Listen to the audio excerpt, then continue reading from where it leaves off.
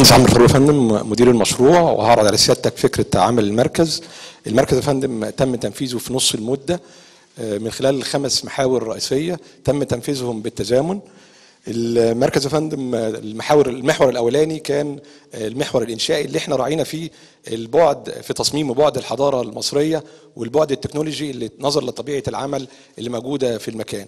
المحور الثاني كان المحور الفني اللي إحنا ابتدينا تجهيز ال- البنية الفنية للمركز من خوادم ووسائط تخزين وأجهزة شبكات بحيث يبقى قادر على آه، تنفيذ فكرة العمل اللي هي فكرتها تجميع البيانات من مصادرها المختلفة زي مراكز البيانات المختلفة آه، بعض الصناعات المختلفة زي آه، بيانات الحركة للصادرات والواردات اللي جاية من المواني بيانات المنظومة الصحية آه، بيانات التشغيل لمنظومة آه، النقل آه، بيانات الطاقة في الكهرباء والبترول وبيانات التعافي من الكوارث الموجودة في مراكز السيطرة على مستوياتها المختلفه. المركز فندم بيتم بيقوم بتجميع البيانات من خلال شبكات الألياف الضوئية أو من خلال تكنولوجيا الجيل الرابع والخامس اللي بتوفرها الشبكة الوطنية. اللي بعد ما يتم التجميع يا فندم في المركز بيقوم المركز باستخدام منصات الذكاء الاصطناعي ومنصة البيانات تحليل البيانات الهائلة بمعالجة البيانات ووضعها في صورة تصلح للاستخدام سواء كانت على صورة مؤشرات بت- بت- بتحسن دورة العمل داخل المؤسسات الحكومية أو في صورة آه، توصيات لمتخذ القرار. المحور الثالث يا فندم اللي إحنا اشتغلنا فيه برضو على التوازي هو بناء القدرات البشرية علشان يكونوا قادرين على إدارة العمل داخل المركز وبالذات إن دي تكنولوجيا حديثة لسه داخلة مصر وداخلة شمال أفريقيا. آه، دربناهم على ثلاث مراحل مرحلة تدريب نظري وعملي ثم تعايش في بيئة تشغيلية مشابهة للبيئة اللي إحنا موجودين فيها. المحور الرابع وباستغلال الكوادر البشرية اللي تم تدريبها والقدرات الهائلة للمركز تعاوننا مع أكثر من جهة علشان نطلع بمخرجات تحقق الأهداف بتاعة هذه الجهات في استخدام القدرات الهائلة اللي موجودة في المركز. آه، ونجحنا فعليا في آه، في الجينوم. ده سيادتك أثناء التفقد سيادتك هتشوفه. وبعض الخدمات الأخرى برضو موجودة. المحور الخامس والأخير هو اللي أنا عشان خاطر أقدم الخدمات لا كان لازم في تنظيم للعلاقة بيني وبين الجهات المستفيدة. آه، وبناء عليه إحنا عملنا مقترح لسياسات تنفيذية. وسياسات الاستخدام بتاعة الحوسبة السحابية اللي هي موجودة أمام سيادتك. هي دي فندم.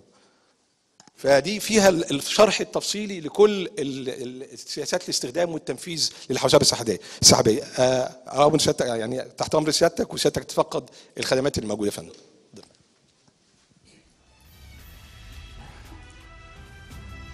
مهندس عبد المنعم راشد مركز الحوسبة السحابية ال P 1 هعرض على سيادتك يا فندم إيه هو مركز الحوسبة السحابية ال P 1 وبيتكون من إيه وإيه الخدمات اللي بيقدمها؟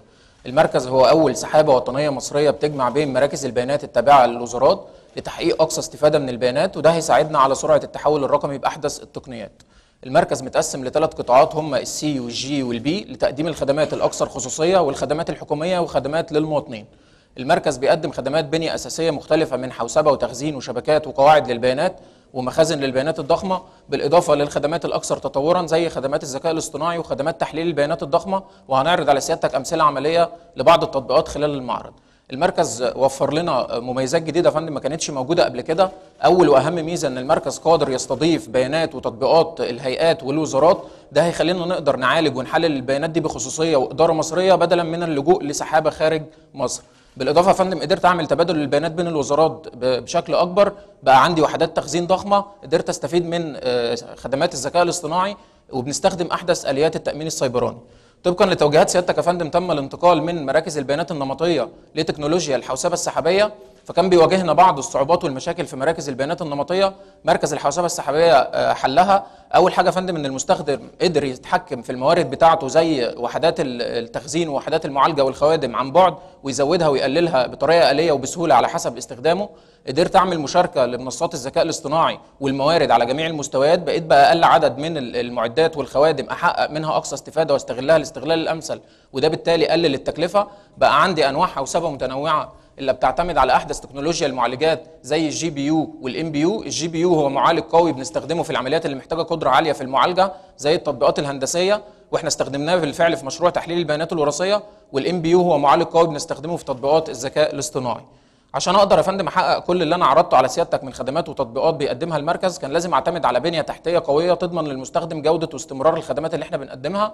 عشان كده تم الاعتماد على شبكة ألياف ضوئية بسعه 400 جيجا بت بتربط مركز الحوسبة السحابية بمراكز البيانات المختلفة للوزارات والهيئات. شبكة عالية الاستقرار وبتقدم خدمة بلا انقطاع وبتعتمد على نظام تشغيل وصيانة ذكي. أيوه يا فندم؟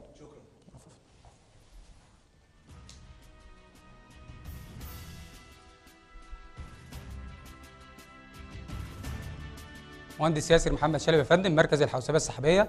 قدرنا يا فندم من خلال خدمات الحوسبة السحابية وتطبيقات الذكاء الاصطناعي إن إحنا نصمم منصات لتبادل ومشاركة البيانات الضخمة بين الوزارات والجهات الحكومية. وكان الهدف منها يا فندم هو دعم التحول الرقمي وتحسين البنية التحتية الرقمية يا فندم وحوكمة البيانات وبالتالي تعظيم قيمتها يا فندم وتعزيز القدرة منها يا فندم لمساعدة الم- المسؤولين في اتخاذ القرارات ووضع الخطط الاستراتيجية. على سبيل المثال يا فندم تم تصميم منصات لتبادل وتحليل البيانات لبعض الجهات الحكومية. كانت بغرض يا فندم ت- المنظومات والبيانات والإحصائيات على منصة واحدة وبالتالي التغلب على المشكلات اللي كانت موجودة يا فندم وتحسين الخدمات ال- ال- المقدمة للمواطنين.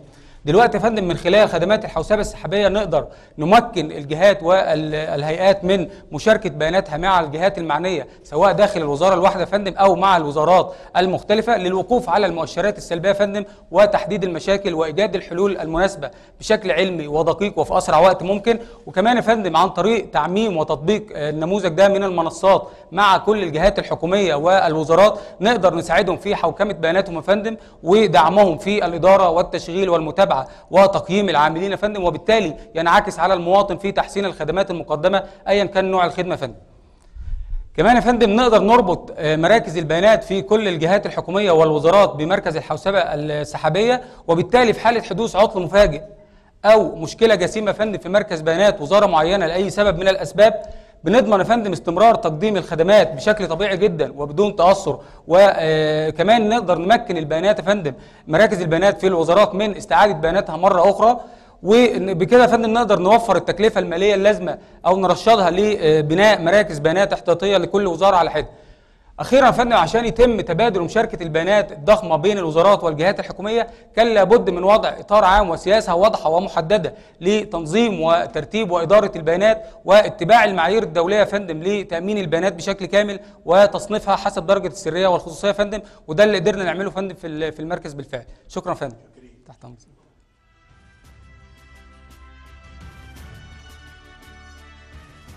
مهندس عبد محمد مركز الحوسبه السحابية. استخدمنا فندم البنية الأساسية للمركز وإمكانيات شبكات المختلفة لبناء وتنفيذ المنصة الرقمية لإنتاج تطبيقات الذكاء الاصطناعي. كان هدفنا فندم إن إحنا نعمل توطين لتكنولوجيا الذكاء الاصطناعي وده تم من خلال التعاون المشترك بين فريق العمل المصري وبعض الشركات الأجنبية وتم بناء المنصة مرورا بثلاث مستويات. المستوى الأول إن إحنا فندم استخدمنا منصة تطوير الذكاء الاصطناعي بالأدوات المختلفة اللي موجودة فيها ومعالجات مخصصة للذكاء الاصطناعي لبرمجة وتنفيذ بعض الخدمات المصرية زي التعرف على اللهجة المصرية وده نموذج يا فندم دربناه على اللهجات لمحافظات مصر المختلفة نستخدمه في مراكز الاتصال وفي التطبيقات الأخرى. تحليل الفيديو يا فندم بالذكاء الاصطناعي ونفذنا نموذج للإدراك الجغرافي وتصاميم ثلاثية الأبعاد وحاليا يا فندم بننفذ نموذج لإدارة المحتوى بالذكاء الاصطناعي بديل لتطبيقات شات جي بي تي اللي ظهرت الفترة الأخيرة وحصل فيها طفرة بندربه من خلال المعلومات المصرية مصادر المعلومات المصرية وبيتم معالجة اللغة باستخدام خوارزميات الذكاء الاصطناعي لمعالجة اللغة لتنفيذ النموذج الهدف يا فندم من النموذج تجنب التحيز التحيز والتوجيه الفكري الأجنبي لبعض المعلومات المغلوطة بالنسبة للمواطن المصري حفاظا على الهوية المصرية ونقدر يا فندم نستخدمه في بعض ال- الصناعات للجهات المصرية المختلفة. الخدمات يا فندم اللي إحنا نفذناها نقدر نستفيد منها في مجموعة من المنظومات زي التشغيل والإدارة الذكية للمركز آه، وده يا فندم تغلبا على مشاكل المراكز النمطية في عملية متابعة الأعطال والتغلب عليها وعرض المؤشرات الخاصة بدرجات الحرارة داخل المركز. وبالتالي يا فندم نقدر نستفيد من الذكاء الاصطناعي للاستخدام الأمثل لأنظمة التبريد منعا للكوارث. كمان يا فندم استفدنا من خدمة الإدراك الجغرافي وتصاميم ثلاثية الأبعاد في منظومة إدارة وتشغيل المدن الذكية وده فندم نموذج طبقناه على حي المال والأعمال بالعاصمة الإدارية الجديدة. المنظومة فندم بتدعم متخذ القرار في متابعة التطورات والتحديثات المختلفة داخل المدن وكمان يا فندم بتقدر تتابع المخالفات زي البناء الغير قانوني والتأثير على الرقعة الزراعية. نقدر يا فندم نستفيد من المنظومه ونطب- ونطبقها على المدن الاكثر احتياجا للنوع ده من المخالفات. كمان يا فندم طبقنا المنظومة على مدينة سانت كاترين وفي النموذج يا فندم بيوضح التغيرات اللي تمت من سنة 2018 لسنة 2023 باللون الأزرق الإنشاءات القديمة وباللون الأحمر التحديثات اللي تمت على مدار الوقت. كمان يا فندم استفدنا من خدمة تحليل الفيديو بالذكاء الاصطناعي في المنظومة الذكية للمراقبه تغلبا على مشاكل المنظومات النمطية زي يا فندم الأخطاء اللي بت- اللي بتسبب فيها العامل البشري في تحديد المخالفات والحوادث داخل المدن. والتكلفة العالية يا فندم لتحديث أنظمة الذكاء الاصطناعي للكاميرات النمطية. فتم التغلب من خلال ربط الكاميرات النمطية اللي موجودة عند الجهات المختلفة بمنصة تحليل الفيديو بالذكاء الاصطناعي بالمركز. كمان يا فندم بنقدر نستفيد من المنظومة في البحث عن المخالفات اللي موجودة في الفيديوهات اللي تم تسجيلها وده يا فندم نموذج للمخالفات آه، وجود تجمعات قمامة في الشوارع في المدن. وأخيرا يا فندم استفدنا من منصة تحليل الفيديو بالذكاء الاصطناعي في تحسين معدلات الأداء بمطار القاهرة الدولي من خلال دمج المنصة مع خدمات الجيل الخامس وده فندم بس مباشر من مطار القاهرة. باعتباره آه، ده فندم بس مباشر من مطار القاهرة لمتابعة الأعمال. باعتباره أول موقع يجمع ما بين خدمات الجيل الخامس والحوسبة السحابيه وتحليل البيانات. أمر يا فندم؟